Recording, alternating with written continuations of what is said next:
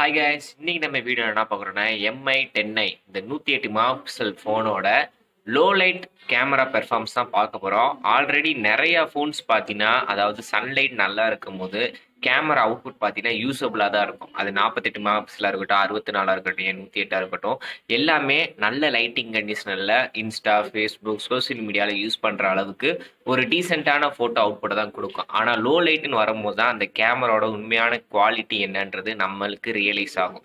So அதனால இந்த வீடியோவில் முழுக்க முழுக்க நைட் டயத்தில் எடுக்கிற ஃபோட்டோவை வச்சு தான் உங்களுக்கு ரிவ்யூ ஆனது சொல்ல போகிறேன் ஸோ எல்லாருக்கும் ரொம்ப யூஸ்ஃபுல்லாக இருக்கும். வீடியோவை ஸ்கிப் பண்ணாமல் பாருங்கள் பிடிச்சிருந்தா மறக்காம நம்ம சேனல் லைக் பண்ணிடுங்க ஸோ வாங்க இந்த ஃபோனோட லோ லைட் கேமரா பெர்ஃபார்மன்ஸ் எப்படி இருக்குன்றத கேமரா செட்டப்பில் என்னென்ன ஆப்ஷன்ஸ்லாம் கொடுக்குறாங்கன்றத பார்ப்போம். ஃபஸ்ட்டு எடுத்தோடனே ப்ரோமோட ஆப்ஷன்ஸ் கொடுத்துருக்காங்க. இது வந்து பார்த்தீங்கன்னா உங்களுக்கு சட்டர் ஸ்பீட் அட்ஜஸ்ட் பண்ணிக்கலாம். White balance light wave frequency லென்ஸில் பார்த்தீங்கன்னா ஷிஃப்ட் பண்ணுறதுக்கு ஆப்ஷன் கொடுத்துருக்காங்க. ஒயிட் ஆங்கிள் மேக்ரோ அந்த இதுக்கு ஷிஃப்ட் பண்ணிக்கலாம். அதே மாதிரி மேலே பார்த்தீங்கன்னா ஃபில்டர் ஆப்ஷனு அதாவது நமக்கு ஃபோனை வந்து ஸ்டெடியாக தான் பிடிச்சிருக்கோமா அப்படின்றத பார்க்குறதுக்கு ஸ்ட்ரைட்டன் ஆப்ஷனு மூவி ஃப்ரேமு அதே மாதிரி விளாக் மோட் எடுக்கிறதுக்கு எல்லாமே பார்த்தீங்கன்னா ப்ரோ மோட் அவைலபிளாக இருக்குது முக்கியமான விஷயம் என்னென்னா உங்களால் ப்ரோ மோடில் வீடியோவும் எடுத்துக்க முடியும். நிறையா ஃபோனில் ப்ரோ மோட் ஃபோட்டோஸ்க்கு மட்டும்தான் கொடுப்பாங்க. இந்த ஃபோனில் பார்த்தீங்கன்னா வீடியோக்கு அந்த ஆப்ஷன் கொடுத்துருக்காங்க.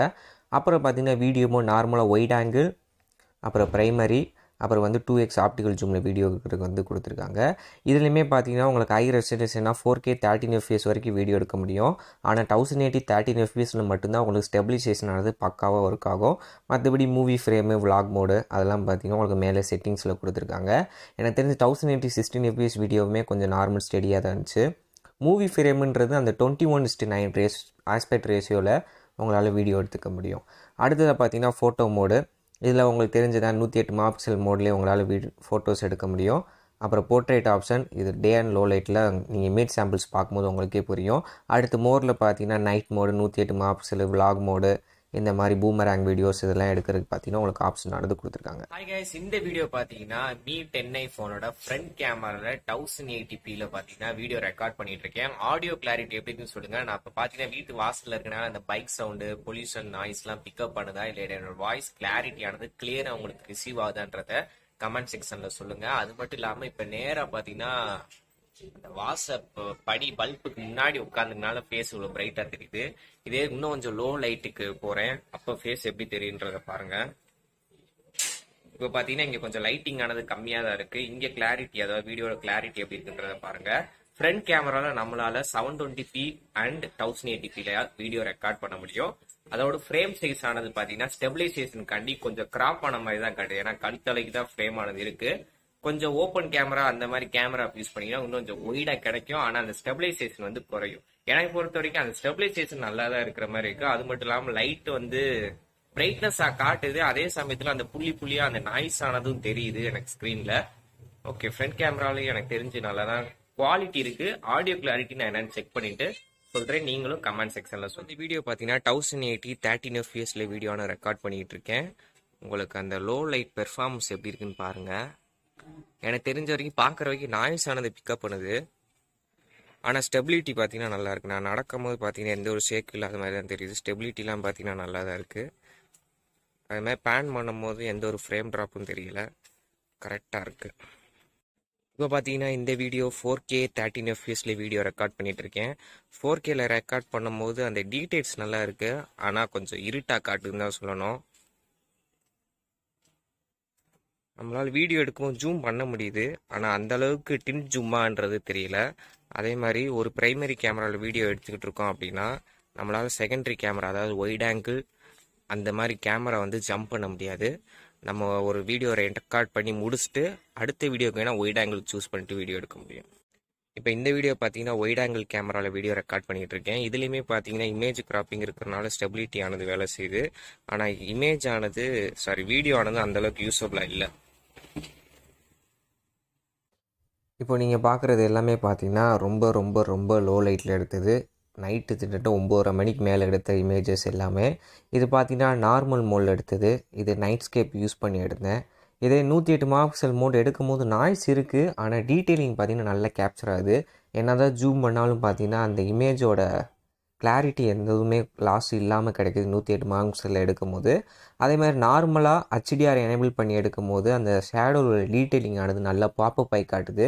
எனக்கு தெரிஞ்சு மற்ற ஃபோன்லாம் பார்த்தீங்கன்னா அந்த கலர் ஆனது பாப்பப் ஆகி தெரியும். ரொம்ப சேச்சுரேட்டடாக அந்த மாதிரி எரிக்கிற மாதிரி தெரியும். இது வந்து பார்த்தீங்கன்னா கொஞ்சம் இருக்கிறத விட லைட்டாக பூஸ்டப் ஆகி காட்டுது. அந்த ரியல்மி ஃபோன்ஸ் ஏன் ரெட்மிலே இதுக்கு முன்னாடி லான்ச் ஆன நோட் நைன் ப்ரோலலாம் பார்த்தீங்கன்னா ரொம்ப சேச்சுரேட்டடாக காட்டும். இது வந்து பார்த்திங்கன்னா உள்ளதை உள்ளபடி லைட்டாக மட்டும் கொஞ்சம் பூஸ்டப் பண்ணி காட்டுற மாதிரி இருக்குது மற்றபடி இதை சோஷியல் மீடியாவில் யூஸ் பண்ணுற போது அந்த மாதிரி இதுக்கெலாம் நல்லாவே யூஸ் பண்ணிக்கலாம். அந்தளவுக்கு இமேஜ் கிளாரிட்டி நல்லா இருக்குது ஆனால் என்ன ஒயிட் ஆங்கிள் டூ எக்ஸு அந்த மாதிரி செகண்டரி கேமராஸ் யூஸ் பண்ணும்போது மட்டும் அந்த இமேஜஸில் அந்த புள்ளி புள்ளியாக நாய்ஸஸ் ஆனது தெரியுது.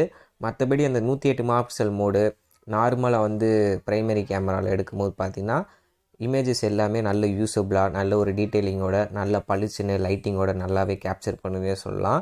லோ லைட்டை பொறுத்த வரைக்கும் தான் அந்த ஒயிட் ஆங்கிள் மேக்ரோ அந்த டெப்த் சென்சார் வந்து சொதப்பதே தவிர டே லைட்டில் பார்த்திங்கன்னா எல்லாமே பார்த்திங்கன்னா சூப்பராக தான் பெர்ஃபார்ம் பண்ணுது. அதே மாதிரி பார்த்திங்கன்னா ஆர்டிஃபிஷியல் லைட்டிங்லையுமே பார்த்திங்கன்னா அந்த ப்ரைமரி கேமரா நல்லாவே பார்த்திங்கன்னா வேலை செய்யுதுன்னு தான் சொல்லணும். ஃப்ரண்ட் கேமரான்னு பார்க்கும்போது ஃப்ரண்ட்டில் பதினாறு மெகாபிக்சல் செல்ஃபி கேமரா கொடுத்துருக்காங்க.